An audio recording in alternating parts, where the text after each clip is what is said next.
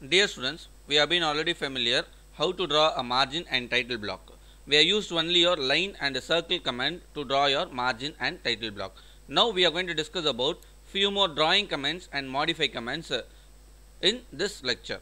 Okay. First I will be giving you a difference between your line and polyline. See students by using your line command first I have to draw my square. The dimension of a square has been 50 mm. I just made your first click over here and I move to your x direction 50 your y direction 50 enter. Then once again your x direction and 50 enter. And I have drawn on 50 on your y direction enter. Now I drawn a square of 50 mm dimension. Similarly I am going to do the same thing by using your polyline. See students when I click your polyline I just made my first click over here. And I move to your x direction 50 your y direction 50 similarly once again your x direction 50 and on your y direction 50 okay now I created two squares. One has been with your uh, line command your another one is with your polyline command. See students when I select a line of a square which is drawn by your line command every line is been individual single line. Can you able to see? I have to select one by one. So we have four lines. Four lines are individual from each to each other. Whereas now I will be selecting a square which has been drawn on a polyline so you can see if I just made a click the entire object will be selected. This is the difference between your line and polyline. When you use your line command each and every line has been an individual setup whereas when you draw anything using your polyline if you select any one line all your object will be selected. Okay. Next I am going to discuss about your circle command. See students there are six types of circles which can be drawn by using your uh, circle command.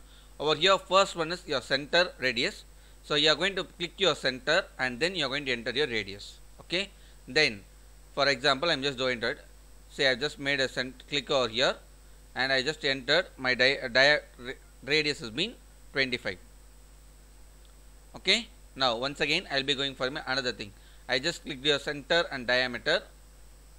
Okay. So first I have to click your center point. I just made a center point okay I zoom I just entered your diameter. I'm going to enter my diameter as 100 so if your diameter is 100 your radius is 50 clear?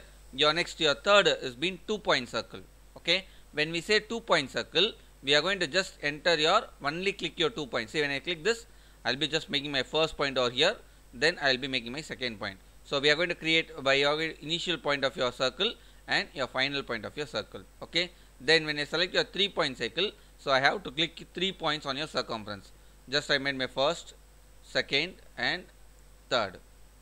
Okay. Similarly, we have your tan radius. If you have to draw a circle between uh, two lines, then you know your radius. You can use your tan radius. For example, I just clicked your tan radius.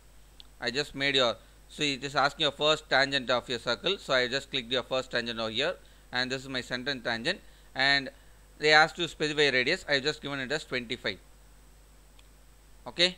So if I have to draw another circle just listen. I am going to for another circle. Once again with a similar method tan radius circle. Okay? I have selected my first tangent point and I selected my second tangent point. I have given my radius as uh, 50 you can see it has been touched over there and it has been moved over between your two lines. Okay? Similarly your last one if I have to draw a tangent tan tan tan I have to collect only three lines. See over here, I have to select that. For that, I am just circling, deleting your circle. I just selected your third one. I just first uh, first tan point, second tan point, and third tan point. You will be getting your circle. Clear with the students? So I will be deleting these things uh, so we can see other uh, drawing commands over here. Next, we are going to discuss about your arc students. When you are going for your arc, there are around three sets of your arc over here okay? So first is your start center end. You are going to just click your start point center point and end point. Then you can give your start center angle. Then you can give start center length. Then start end angle your start end direction start end radius center start end and center start angle center start length. So according to your application you are going to select this okay? Now I am going to discuss about over here your command is your rectangle okay? So I just clicked your rectangle over here. Okay it will be asking your first corner. I just made a click. See over here you can see area dimension and rotation. Okay so I have to give your dimension. For that I am going to just enter your D over here. It will be asking your length of your rectangle. So I am just giving my length of the rectangle as 100 and it will be asking your width of your rectangle. I have given your rectangle as 50 now you can see a rectangle has been available. Clear so this is one method. See students we can draw polygon also. Over here you can see able to see a polygon. I just clicked your inverted triangle over here near to this. You are going to just click your polygon okay? So it will be asking number of sides okay? So now I am going to draw a pentagon. So number of sides for a pentagon is 5 enter. It will I am going to draw only by edge method. So I have to give E. Enter. It is asking your first point. I have just made click over here to get your first point okay? Now I am going to my dimension as 30 mm your edge dimension is 30 okay? See? Just enter 30 you will be getting a 30 mm pentagon. Clear? If you have any doubt I will be just checking with your dimension. See I just clicked your linear over here. You can see your dimension has been 30 clear students? Next if I have to draw a pentagon. So I have to once again click your polygon I have to enter my sides as 6 if you are going to draw a hexagon 6 H. E. Enter. I have to make my first point. Okay? Specify the end point of your edge so I am going to say my dimension is 50 50 okay? Enter. So I will be getting a hex. Hexagon for 50 mm diameter. Okay? Next I have your center center method for drawing a ellipse. But we are using only your eccentricity method. So we are going to only focus on that. Okay? So here you have a command called hatch. See whenever you need to draw anything on a cut section this will be used on your sections of solids which we will be discussing on your later session. So with this uh, I complete your drawing command tools. Next I am going to move for your modify commands. So before moving to that I am going to just delete all your diagrams which I have drawn. Okay? So first I am going to discuss about your move okay? For that I am going to draw a circle over here. I just click the center and I given my diameter as 50 okay next. I have just drawn a line over here. For a reference only. See students now I have to move this circle and I have just placed on this starting point of the line. So for that I am going to just click your move over here. It will be asking you to select your object. I just click your object then press enter on your keyboard. It will be asking you to displacement point. I am going to select my center point as a displacement and I am going to just place it over here. For this only I am going to use your move command clear? Next I am going to discuss about your copy. Your copy command has been already familiar to you students. I am going to make a multiple copy of your object okay? So first uh, if I click your copy select your objects enter. It asks you select a base point. I am going to just select this is my base point and I have to move it over here. I have just selected it okay? If I need any number of more I can keep on moving after you identify your copy is being completed what I have to do? I have to just click your escape so that the objects will be copied. Clear everybody? Now I will be for your reference. I am just deleting all your objects. Now we are going to discuss about your rotate. For that I am going to draw a pentagon. Number of sides for your pentagon is 5 I just click your first point over here. Okay. Number of pentagon side is 5 enter. Your E is your H. Enter. I just made my first point. My pentagon dimension is uh, 60 see students I have to rotate your pentagon. Okay for that what I have to do is I have to just click your rotate over here. It asks you to select your object. Just select your pentagon. Then press enter. It will be asking your base point. I'm going to select this is my base point. Enter. Okay. So even you you can rotate it manually by using your mouse or otherwise you can specify your angle over here. So you can able to move it with your mouse also. When you move your mouse automatically your pentagon will be moving. Otherwise you can directly enter your angle. So for reference I'm going to just enter 90 you can see it has been tilted to 90 degree. Clear? So once again I am going to tilt for your 180 just rotate. Okay select your object. Selected it. I have selected your base point. Okay then your rotation angle is 180 enter. You can see it has been tilted to 180 degree. Clear students next I am going to do for your mirror command okay? So first I have just clicked your mirror. Enter. It will be ask you to select your object. I just selected your pentagon. It will be asking your first point of your mirror line. This is my first point and I am going to select my second point. It will be asking whether to erase your source object. If you give yes your source object will be erased. If you give no I'm going to give no. So you can see your both objects has been present over here clear students? So next I'm going to discuss about your trim. For that what I have to do is I have to draw two lines. First I have just made a draw line and I have just drawn an another line.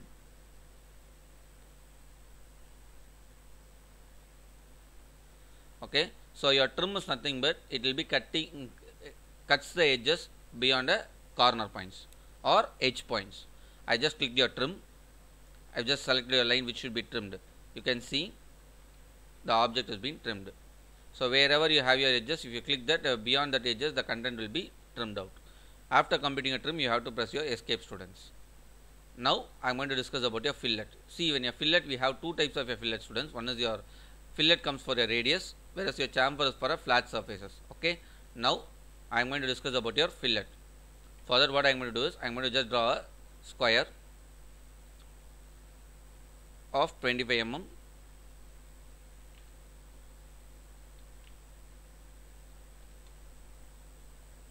okay I'll be just zooming it.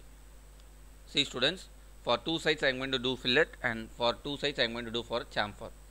First I click your fillet. It will be asking you to select your first object. This is your first line.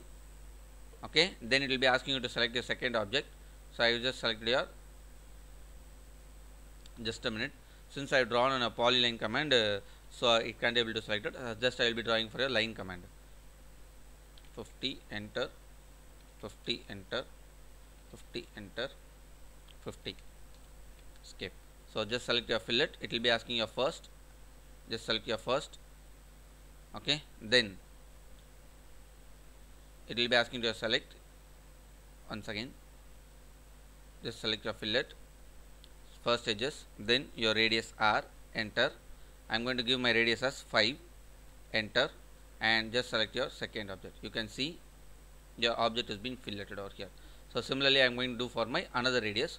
So just click fillet select your first line enter enter my radius as 15 enter select your second line. Okay? Now I go for my chamfer. Just click your chamfer over here it will be asking you to first your first line. I just selected your first line. Then it will be asking distance or angle. So I'm going to form a distance method. So D enter. It will be asking your chamfer distance. I'm going to give 5 okay? Then select your second line